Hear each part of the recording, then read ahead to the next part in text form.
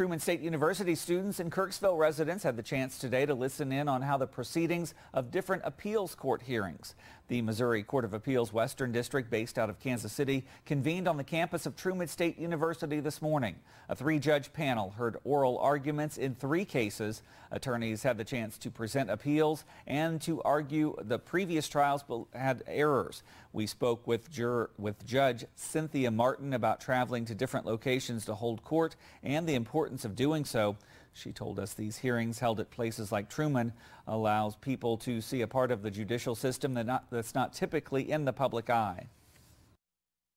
Most people don't appreciate what appellate practice is. They, they don't understand that once a case comes to the Court of Appeals, it has already been tried to a final judgment, and we're reviewing the case to determine whether there have been significant mistakes or errors that might require a retrial or some other recourse for the parties. The three cases heard this morning focused on a criminal case questioning the statute of limitations, a property dispute, and a workers' compensation suit. During a break, those attending had the chance to ask the judges questions about a typical day in the Court of Appeals.